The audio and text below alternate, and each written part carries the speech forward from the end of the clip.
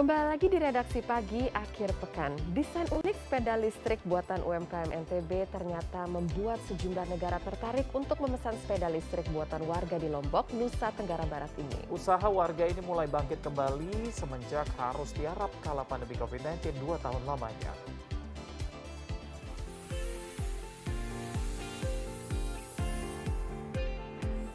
Inilah berbagai macam desain unik sepeda listrik yang sedang diselesaikan pengerjaannya oleh warga bernama Gede Sukarma Wijaya. Sepeda-sepeda buatan Gede masih dikerjakan dengan cara manual di bengkelnya di wilayah Banyumulek, Kecamatan Labu Api, Kabupaten Lombok Barat.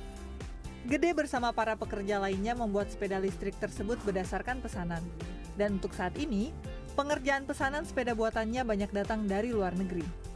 Sepeda listrik dengan desain motor trail ataupun motor sport banyak diminati oleh para pemesan karena desainnya yang unik dan menarik. Sebelum berakhir tahun 2021 ini, bengkel Pak Gede harus menyelesaikan sebanyak 32 unit kendaraan pesanan dari luar negeri. Biasanya pesanan dikerjakan dengan waktu 30 sampai 45 hari, tergantung kerumitan desain.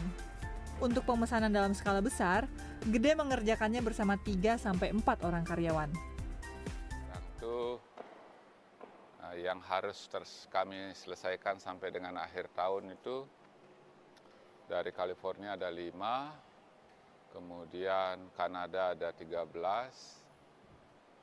berarti 18, sama dari Pemda ada 14.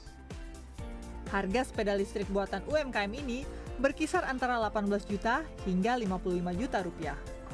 Lalu Rahmat Junaidi, Lombok Barat, Nusa Tenggara Barat.